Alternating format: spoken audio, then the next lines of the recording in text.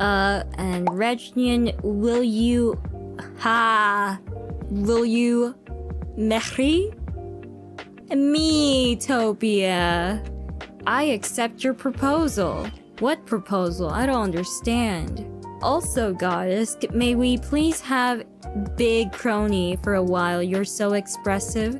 And it's a joy to see you and have you occupy 99% of our screen. Please also occupy 99% of my life, the rest being sleep. Uh, 1% is very little for sleeping. I refuse, of course, uh, whatever your proposal was, but I wish the best of luck and may the odds be ever in your favor.